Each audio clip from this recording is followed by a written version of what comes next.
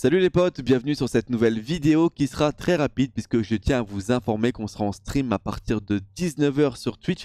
pour le grand retour du caveau de verre sur Destiny 2. Et oui, Athéon, un des raids les plus mythiques, si ce n'est le plus mythique de Destiny 1, fait son grand retour ce soir à 19h sur Destiny 2. Ça va être vraiment un très beau moment de nostalgie pour nous puisqu'on avait eu l'occasion de découvrir en 2014 Athéon voilà, dès le premier jour. Donc n'hésitez pas à nous rejoindre si ça vous dit, on va passer un très bon moment, on va pouvoir se rappeler des petits moments de nostalgie, on va pouvoir voir un petit peu les changements aussi qui ont été apportés au raid. Je vous donne rendez-vous à 19h, pour cela on a également réuni une équipe du top du top, donc voilà. Le lien est en description de la vidéo, à tout à l'heure les potes, tchuss